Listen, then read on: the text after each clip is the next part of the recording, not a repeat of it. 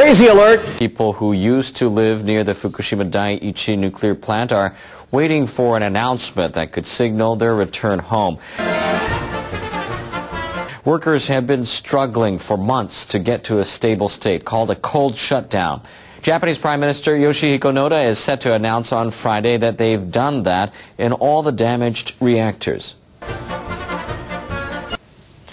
The government has confirmed that the reactors have met conditions for a cold shutdown.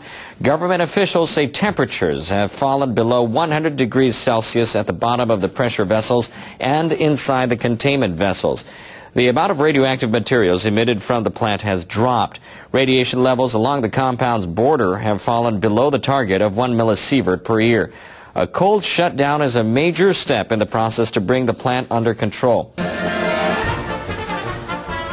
Workers have brought stable circulatory cooling to the reactors, and they've developed alternative methods against malfunctions or accidents. I just made it up! Getting to cold shutdown is a condition for allowing evacuees from the 20-kilometer no-entry zone to return home. What the fuck? The government is now expected to draw up plans for their return. What the fuck? Crazy alert! A new timetable says it will take up to 40 years to decommission the damaged reactors at the Fukushima Daiichi nuclear power plant. NHK has learned about the timetable drawn up by the Industry Ministry and Tokyo Electric Power Company. It calls for the removal of used fuel rods from spent fuel pools in four reactor buildings within the next two years, starting with reactor number four. The removed spent fuel will be temporarily stored within the compound. The timetable also says that work to remove the melted fuel inside number one through number three reactors should be completed in 25 years. Then work will begin to dismantle the reactors and buildings. The schedule includes repair work to fill cracks in the reactors and containment vessels where contaminated water has leaked. The work will be undertaken in very difficult conditions, including high levels of radiation, and will require the use of remote-controlled robots. I mean, can you ever really trust another human being? Getting to cold shutdown is a condition for allowing evacuees from the 20-kilometer no-entry zone to return home. The government is now expected to draw up plans for their return. No, the answer is you cannot. Leaders of French nuclear energy giant Areva say they will cut up to 1,500 jobs over the next five years, and they'll suspend several projects. They say the accident at Fukushima has made it difficult for those producing nuclear power.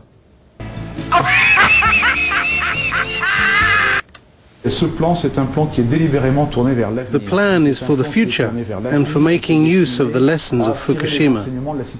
The accident was a shock to the nuclear industry. It gave us a chance to review our businesses.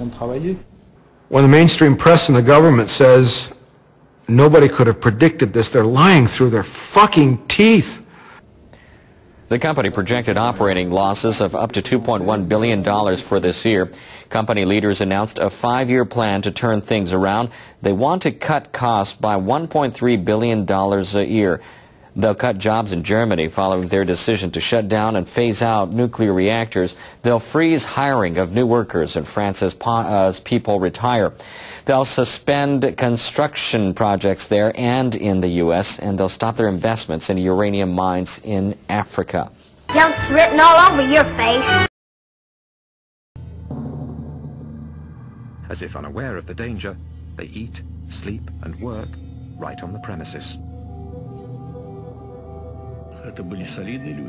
These were upstanding people, specialists. I couldn't believe they would do something irresponsible or suicidal. No, it meant they'd underestimated the situation. The old criteria were no good anymore. There have been nuclear accidents before, in our country as well as in the US, but that information had been kept secret. There'd never been an accident of this scope. They even thought the reactor would be back in service by May or June. Meanwhile, clouds filled with radioactive particles are being blown north by the wind. Between the 26th and the 27th of April, they drift over 1,000 kilometers above Russia, then over Belarusia and the Baltics.